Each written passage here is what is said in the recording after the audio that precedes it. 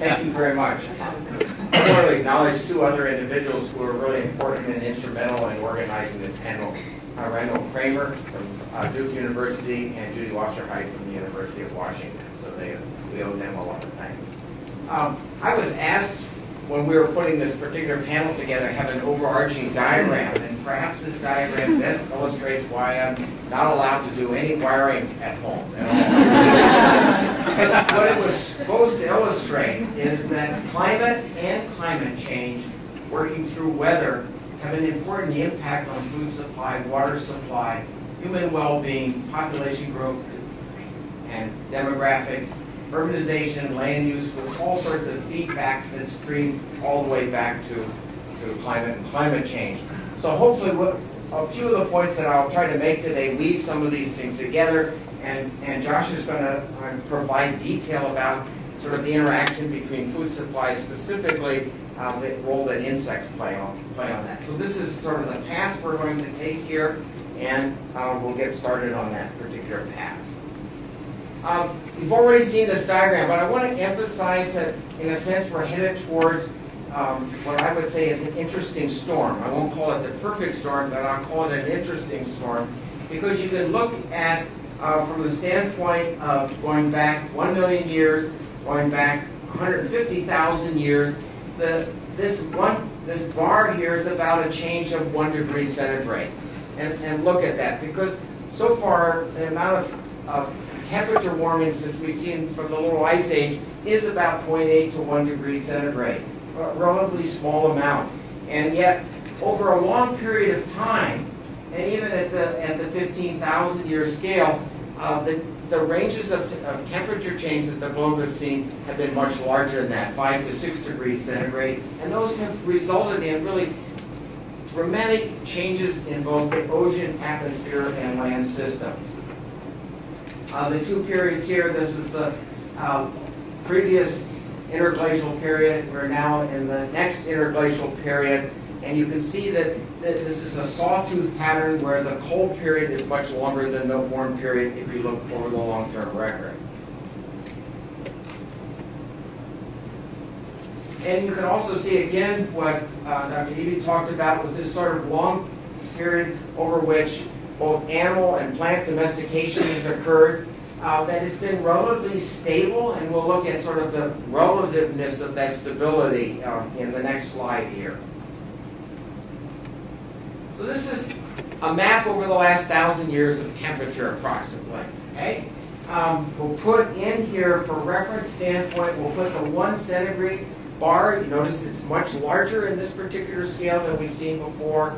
Um, we, will also notice that during this early period here, we have the medieval optimum.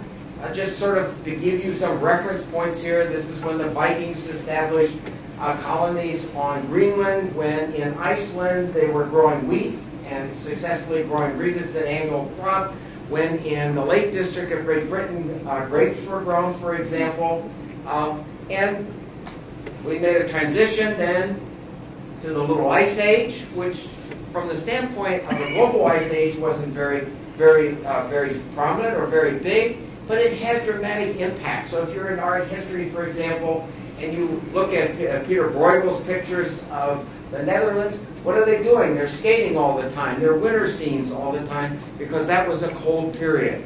And you can actually see that in the, in the, in the glacial record. And it was also, as Dr. Ebi pointed out, a, a, a period of, of famine and starvation, and we'll see when we get to population growth, it was also a period of very low population. This is where we are now.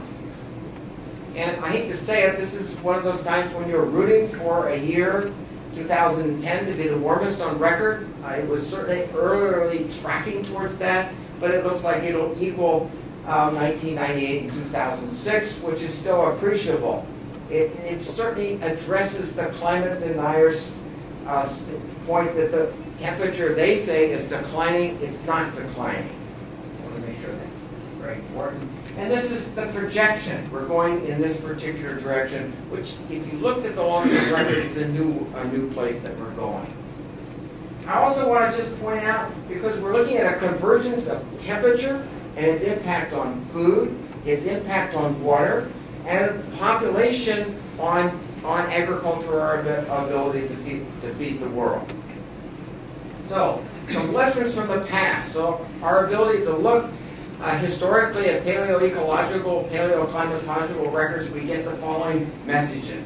Species responded individualistically, i.e. communities did not respond as a unit. Individual species responded. Um, there's no modern analogs to either historic or future climates. You can't take an average and say, well, Seattle's going to be three degrees warmer, I'll just go to San Diego because right now San Diego is three degrees warmer and that's the climate of Seattle 100 years from now. Climate is packaged in extremes, in variation, uh, in precipitation temperature patterns.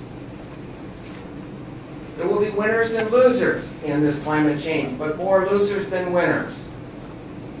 And then finally, this, and I think Dr. Ebi made this point very clearly also, that an average global temperature falls apart because of both the temporal and spatial heterogeneity that occurs. Everyone knows that the Arctic uh, region is warming more than the tropic region, for example. Nights may become warmer than days. Uh, winters may become more warmer than summers, for example. Going back, so I want to emphasize water, and a lot of water is stored. It's stored in aquifers, and it's stored in snow, and it's stored in glaciers. So in a sense, you can look at a glacier like a reservoir. It's this sort of saving bucket of water. Well, we've been dipping into that bucket significantly, and we can see it. We can't see the impact that we're having on aquifers, but we can see the impact that we're having on glaciers. This is 1921. This is 2009. If we look at this, just the Swiss probably have the most detailed race record of glacial history, or in, in going back to about uh, 1900. Uh, now they measure somewhere between 90 and 100 different glaciers. I'm going to give you just three, one that has a long-term record, one that has a medium-term, and one that has a very short-term record. The point is that water is being stored in these things, they're melting at accelerated rates, which means that the flows that we're seeing are being augmented. They're being augmented by this water, and they're particularly being augmented during critical times of low water, which for the Pacific Northwest, for example, is, is the period in August and, se and September. In a sense, we're, we're drawing on a bank account. Okay? We're drawing on a bank account here. And this is the loss in mass for this, just this period here, to give you some scale, in Switzerland, 25 kilometers of ice was lost. So if you measure the length of a glacier and you looked at how much was subtracted, 25 kilometers were subtracted in an in 11, in 11 year period. Okay? That's a lot of water that's being lost. I also want to emphasize sort of the temperature, using again temperatures of today and projection. We're going to use a longer term, this blue bar here is a longer term, it's about 116 year record, or 106 year record. This is some work that David Battisti in Atmospheric Sciences has done here with Roz Naylor at, at Stanford. Um, and they looked at from 1900 to 2006, this is the pattern of temperature. This is for France and then they projected it for what would the pattern look like um, in, in, in 2090, about, about 90, actually 80 years from now. Me pretty quickly. Uh, and then we're looking at sort of the range. We've already talked a little bit about the range. Okay, so there's 2003. That was the extreme drought in, in, in Europe. And notice that this two deviations above that long-term 106-year record is now the average of the future.